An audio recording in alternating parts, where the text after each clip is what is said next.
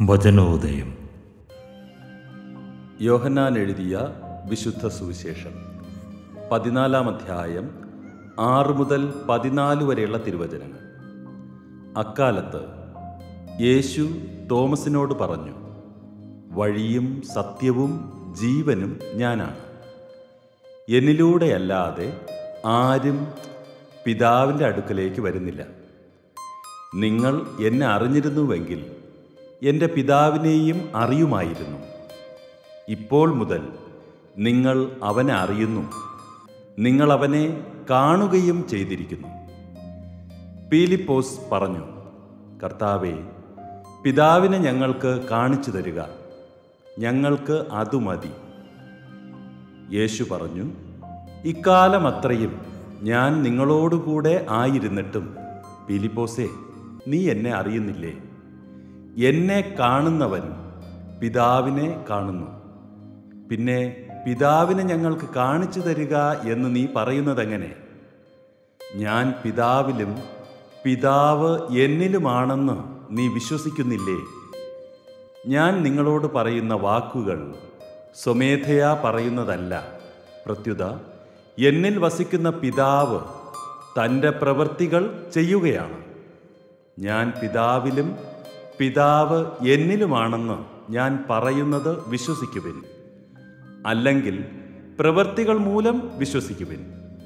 സത്യം സത്യമായി ഞാൻ നിങ്ങളോട് പറയുന്നു. എന്നിൽ വിശ്വസിക്കുന്നവനും ഞാൻ ചെയ്യുന്ന പ്രവൃത്തികൾ ചെയ്യും. ഞാൻ പിതാവിന്റെ അടുത്തേക്ക് പോകുന്നത് കൊണ്ട് ഇവയേക്കാൾ വലിയവയും അവൻ ചെയ്യും. വചന വിചിന്തനം. വഴിയും സത്യവും ജീവനും ഞാനാണ്.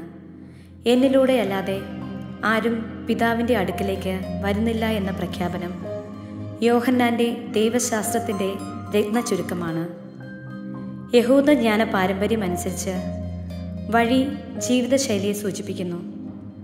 വചനം മാംസം ധരിച്ച യേശു തന്റെ വാക്കിലും പ്രവൃത്തികളുമായി പിതാവാകുന്ന സത്യത്തെ തുറന്നു കാട്ടുന്നു. യേശുവാണ് ജീവൻ. എന്തെന്നാൽ അവിടുന്നാണ് ദൈവത്തിന്റെ ദാനമായ ജീവൻ ലോകത്തിന് നൽകുന്നത്. പിതാവിന്റെ സത്യമായ ലോകത്തിൽ മനുഷ്യർക്ക് ജീവനായി തീർന്നു. യേശുവിലൂടെ പിതാവിന്റെ ജീവൻ മനുഷ്യർക്ക് ലഭിച്ചു. യേശുവുമായി ബന്ധപ്പെടുമ്പോഴാണ് ജീവന്റെ അനുഭവം കിട്ടുന്നത്. വിശ്വസിക്കുക ഭക്ഷിക്കുക പാനം ചെയ്യുക എന്നിങ്ങനെ വിവിധ രീതികളിൽ ജീവൻ അനുഭവിക്കുന്നതിന് യേശുവുമായി ബന്ധപ്പെടാം.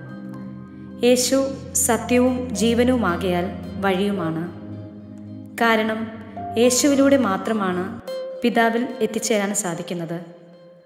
ഓരോ ക്രൈസ്തവന്റെയും ആത്യന്തികമായ ലക്ഷ്യം നിത്യജീവൻ നേടിയെടുക്കുക എന്നതാവണം. യേശുവിലൂടെ മാത്രമേ ഇത് സാധിക്കൂ.